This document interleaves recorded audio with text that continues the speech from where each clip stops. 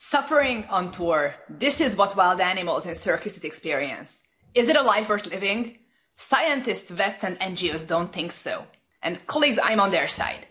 There is overwhelming evidence that wild animals in circuses are destined to a life of physical abuse and mental torture.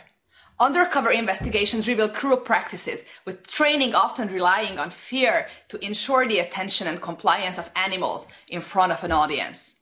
Many European countries started to implement bans on this cruel practice. However, some member states have no legislation whatsoever addressing this issue.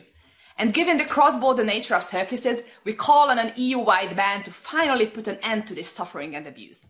And don't get me wrong, I have nothing against circuses. There are amazing animal-free performances out there, bringing fun and excitement without the heartbreaking acts of elephants and bears that have been caged for their entire lives, forced to perform tricks through fear and intimidation, and denied the ability to express their natural instinct.